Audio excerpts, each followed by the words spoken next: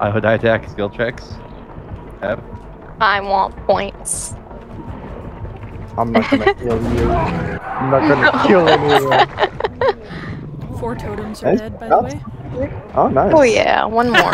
he went through the window. I win. It sucks.